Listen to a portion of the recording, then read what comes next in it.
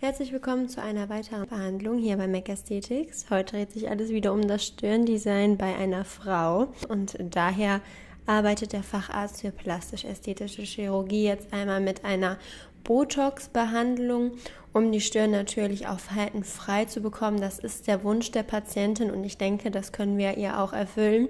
Nach zehn Tagen kommt sie natürlich zur Nachuntersuchung wieder und dann wird auch gegebenenfalls kostenfrei etwas nachunterspritzt, damit unsere Patientin natürlich auch zufrieden ist und faltenfrei und damit können wir uns zufrieden verabschieden. Bis dahin.